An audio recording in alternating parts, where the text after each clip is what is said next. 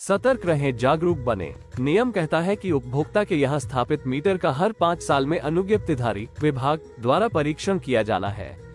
ज़रूरत पड़ने पर नया मीटर लगाना होगा परंतु ऐसा हो नहीं रहा है।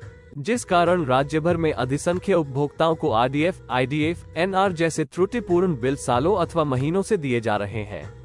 जो कि विधि विरुद्ध है जबकि उक्त श्रेणी में अनुज्ञप्तिधारी केवल दो ही बिल उपभोक्ता को दे सकता है। माननीय यूईआरसी के विनियमानुसार अगर ऐसे मामले सीजीआरएफ के समक्ष दर्ज होते हैं तो सीजीआरएफ विद्युत उपभोक्ता के हक में फैसला देते हुए उक्त श्रेणी के दो बिलों के अतिरिक्त अन्य सभी बिल निरस्त करने का आदेश अनुज्ञप्तिधारी विभाग को दे सकता है।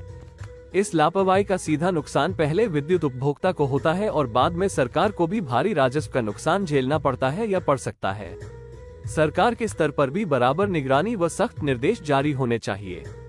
उपभोक्ताओं को भी बेहद जागरूक रहने की ज़रूरत है बराबर अपने बिलों का खुद भी परीक्षण करते रहें।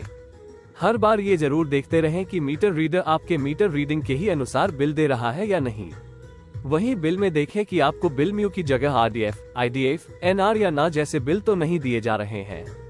उक्त श्रेणी के बिल हों तो तुरंत अपने नजदीकी विद्युत कार्यालय में लिखित शिकायत दें और रिसीविंग ज़रूर ले लें।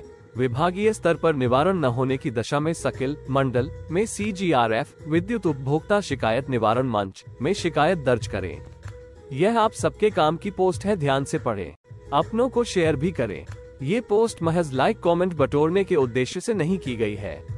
रिपोर्ट शशि भूषण मैथानी पारस।